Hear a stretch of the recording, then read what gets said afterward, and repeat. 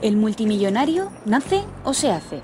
Con permiso de grandes y mediáticas herencias, el ranking de Forbes muestra que gran parte de las fortunas mundiales son fruto del duro trabajo.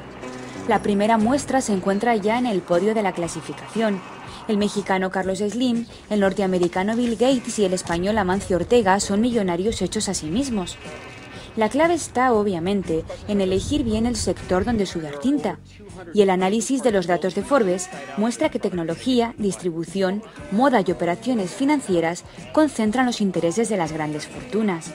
Hombres y mujeres que en esta edición se han visto favorecidos por los estímulos monetarios de la Reserva Federal, por la fuerza de las grandes marcas, por el alza general de las acciones de empresas minoristas o por los bajos precios de determinadas materias primas aunque para llegar tan alto y amasar esas millonadas se necesita mucha, muchísima paciencia.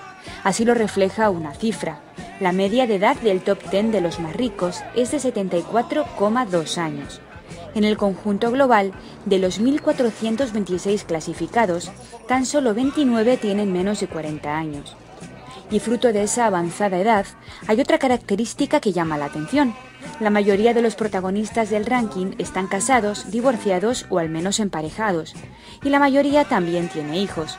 Así que sí o sí, para ser millonario toca trabajar, pues parece que la crisis ha arrasado con la oportunidad de encontrar solteros de oro. Para expansión.com, Estela Santos Mazo desde Nueva York.